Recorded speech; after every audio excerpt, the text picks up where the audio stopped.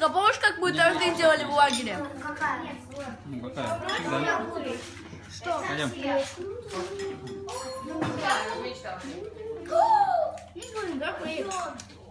Ой, а можно?